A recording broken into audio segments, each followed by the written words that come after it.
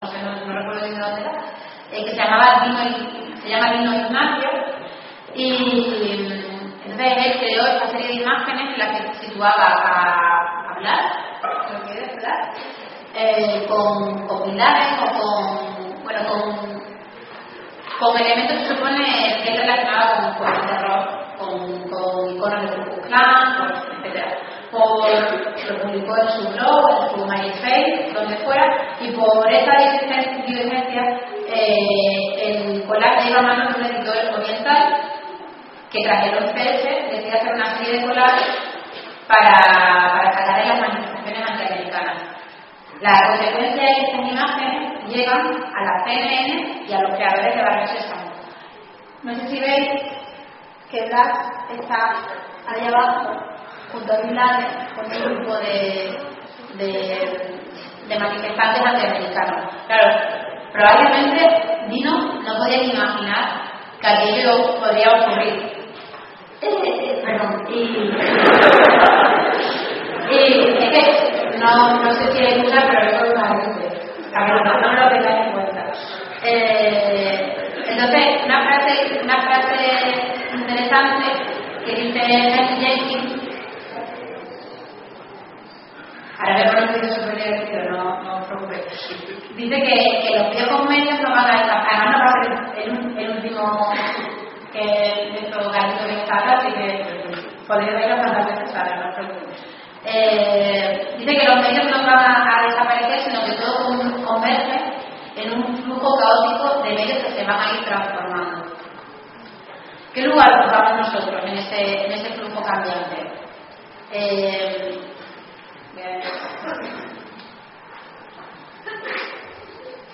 DJ Cookie, que es otro autor que, os recomiendo, tiene un libro que se llama La ciencia del ritmo. DJ Cookie es un, bueno, un DJ, como su nombre artístico indica, pero además es un pensador y es como un referente en todo lo que tiene que ver con la cultura de la remezcla, desde un posicionamiento no solamente estético, sino también bastante conceptual. Eh, en su libro recoge una anécdota que voy a leer literalmente porque queda más bonita, eh, que dice, hace 100 años eh, en su aguda obra Las almas del pueblo negro, Dubois aportó el concepto de la doble conciencia al diálogo americano. Decía Dubois, nacidos con un velo y dotados de una segunda visión en este mundo americano. Él quería hablar en este momento de su doble conciencia como hombre negro americano, en la situación de, de racismo que vivía en esa época. Y seguía diciendo, es una sensación peculiar esta doble conciencia. Esta, esta inmersión de verse siempre a través de los ojos de los demás. Uno siente en todo momento su duplicidad. Un americano, un negro, dos armas, dos pensamientos, dos afanes irreconciliables, dos ideales en guerra en un cuerpo oscuro, al que solo su fuerza obstinada impide partirse en dos. Otro grande afroamericano, Charles Mingus, es como eh, hablaba que más allá de esta dualidad que, que Dubois, eh, existía para él una triple conciencia.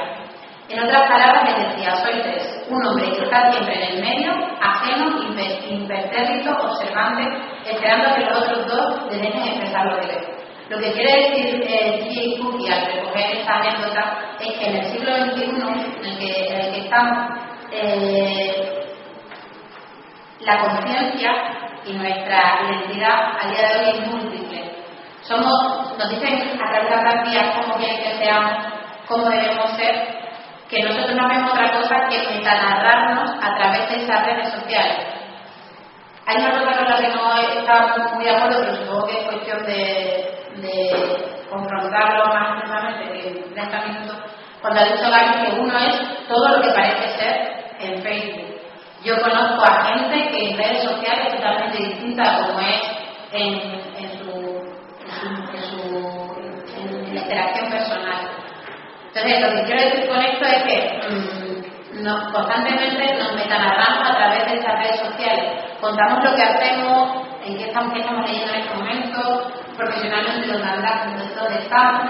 Eh, hay una frase de un filósofo eh, muy interesante que dice que que somos turistas de nuestra propia realidad. ¿Dónde, dónde nos sitúa realmente esto como ciudadanos en este nuevo entorno cambiante? Hay un, un punto muy interesante que, tiene que ver con esa sinergia, que es la, inteligencia colectiva. Pierre Levy, otro autor muy recomendable, dice que la inteligencia colectiva se refiere a, nuestra capacidad, a la capacidad de las comunidades virtuales de estimular la pericia combinada de sus miembros. ¿Qué importancia tiene esto más allá de que un, grupo sepa hacer un videoclip colaborativo con Shakira pida a sus fans que envíen vídeos? Ya sabemos cómo la publicidad se puede apropiar de, este, de, estos nuevos contextos.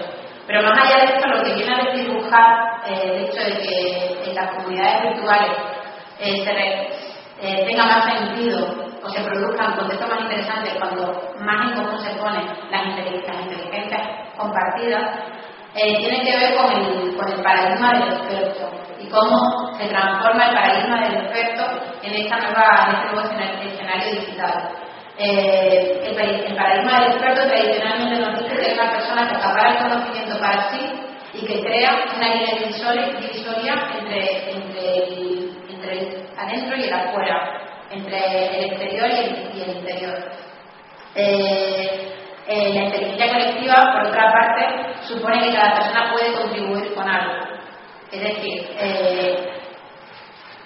viene la, la, el famoso concepto de do yourself, eh, nos convertimos en, en, prosumer, es decir, eh, consumidores a la vez productores de contenido eh, y, nos, y, nos, convertimos constantemente en profesionales que están en beta, por, lo que han, comentado ya el resto de compañeros. Lo, lo, interesante realmente es que pasemos del do yourself, o sea, del poder hacerlo nosotros mismos, de de aprovecharnos de toda esa tecnología low-fi para pasar al do it together, porque es donde realmente la sinergia y el poder y esa supuesta revolución digital podrá tener mayor fuerza y mayor sentido. Eh, cosas. ¿Sabéis lo que es el procomún? ¿O, ¿O dice algo del procomún cuando hablamos de comunicación, cuando hablamos de redes? El procomún tiene mucho que ver con, un posicionamiento ético en, la cultura digital, con un posicionamiento ético en la vida, fundamentalmente, pero con un posicionamiento ético en la, cultura digital. Eh, cuando, cuando hablamos de, de, que existe un nuevo, nuevo escenario de la comunicación y de lo social, eh, esto pasa por, por redefinir qué es el espacio público y qué es el dominio público. Eh, el, espacio de pertenencia y ese, espacio de pertenencia compartida y socializada de, la que antes hablaba mi compañero es lo que es el profundo. Eh, entonces, la red tiene sentido cuando nosotros, como esos usuarios eh, nos apropiamos de lo que existe en la red, pero de alguna manera devolvemos algo, algo a cambio. Eh, eso tiene que ver con lo que decía antes de compartir el código fuente, emulando un poco las la lógicas del software libre. El software libre se reproduce y, vive y, tiene sentido porque permite el copio, la, copia íntegra de su código para transformarlo y construirlo en un discurso. Igualmente la red, eh, para mí, potencialmente es interesante por eso, porque nos da la oportunidad de construir constantemente nuevos discursos a través de otros ya creados. Sería muy pretencioso además creer que vamos a crear de la nada donde antes nadie había hecho nada.